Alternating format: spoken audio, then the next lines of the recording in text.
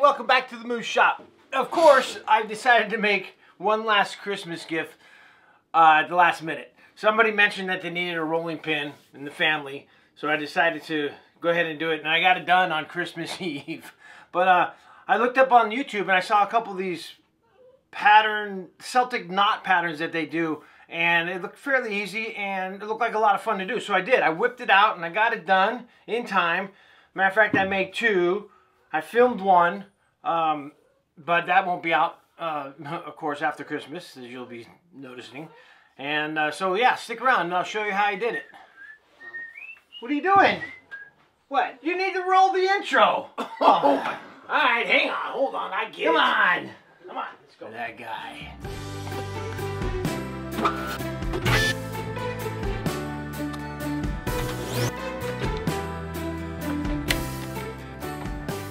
Want to do first is I want to mill up some wood so I make myself a good block.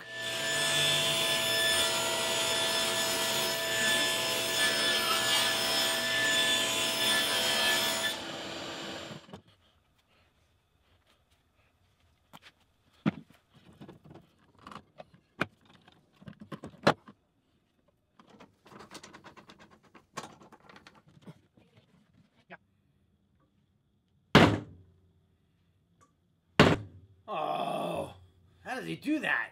Oh, forget it.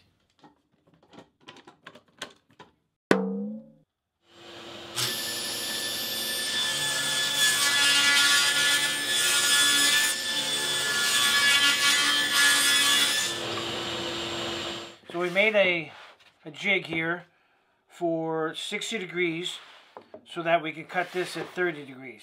I have it sandwiched in between the two stops line up here. Mark your your one end because you're always going to use that facing out. So what we'll do is we'll cut one, glue it, turn it, set it back in, cut it, glue it.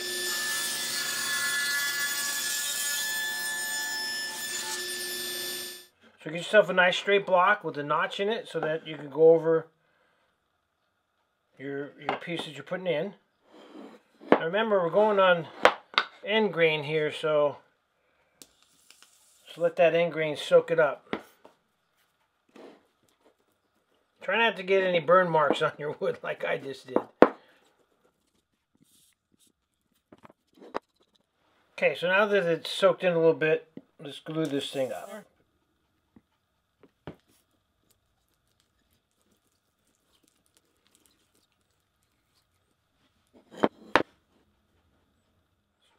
Super important to make sure this thing lines up properly.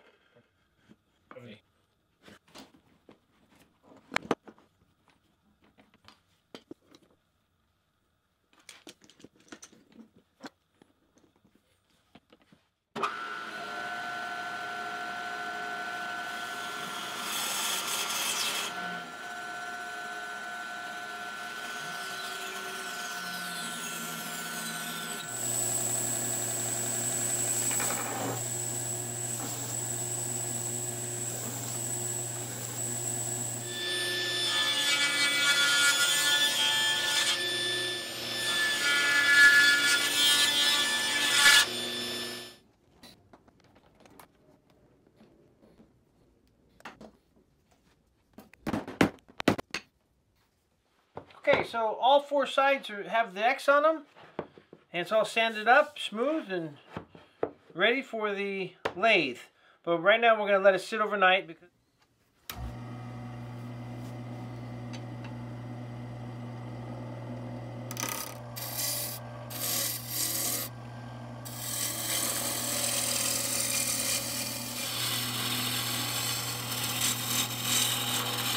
Okay, so now you got it as even and smooth as possible. We're going to take a sandpaper to it. Now get a sanding block, a nice flat one. The longer the better. And we'll knock down all those peaks and valleys and make it nice and even.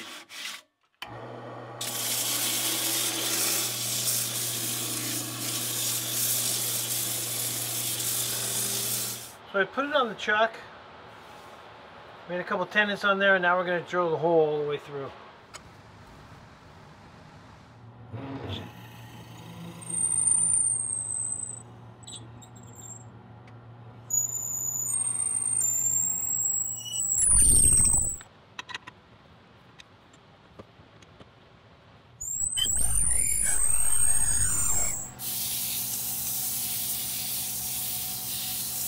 Sanded it down to 600 and now I'm going to put a couple coats of walnut oil and then we'll cut off this other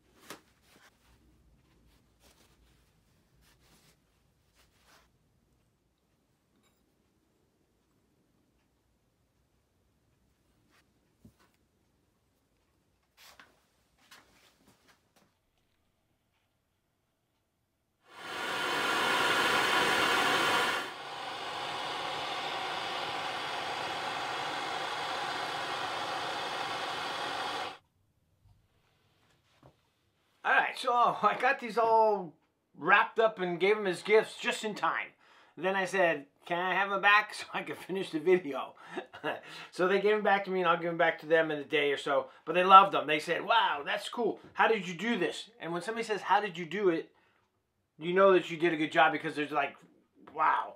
So give it a shot.